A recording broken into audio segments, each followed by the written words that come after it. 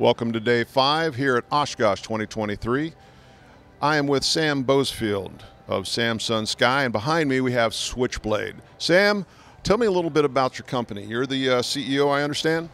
Yes, we started this probably about 14 years ago, and it's been quite a journey. Now in test flying, so uh, wonderful little vehicle that we found to make flying and driving more enjoyable.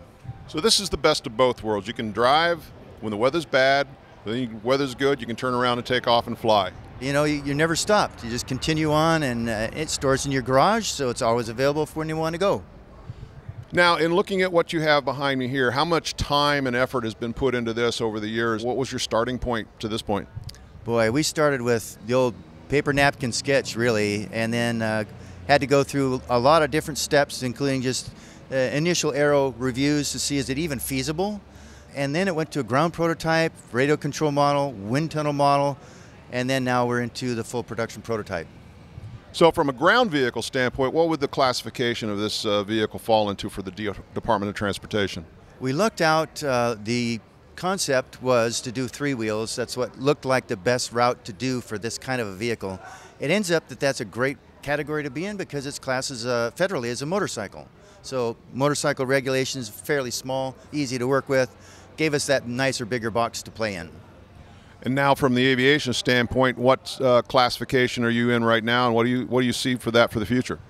We started with experimental amateur built because again, it allows us to do experimentation and develop things that maybe don't fit the rules of certified world, but would be successful for what we're doing. And that included also an engine that could burn unleaded auto gas.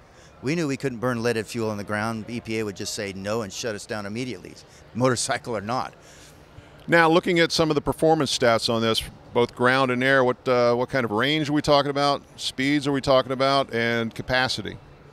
Well, it seats two side by side, room for golf clubs, short clubs, travel set, and it's uh, designed to cruise at 160 miles an hour. We picked miles per hour, not knots, because we're on the ground in the air. And then top speed, we're hoping for about 190 miles an hour, so a pretty decent, reasonable top speed. And on the ground, I think we've already been over 125 mile an hour, so we, we know it goes faster than most people will ever want to try. How about range? What are we talking? 500 miles in the air, probably about 750 on the ground. Well, that's pretty good. Um, I've looked at some other ones, not nearly that much, so good. Now, as far as the company, are you looking for uh, people to come join you as far as the team goes? You have a great, solid team right now. We will be ramping up because we're heading into the last part of production engineering, uh, and then, of course, putting it into production. So we'll be we definitely looking for more talented people. So, where can people come find you on the web?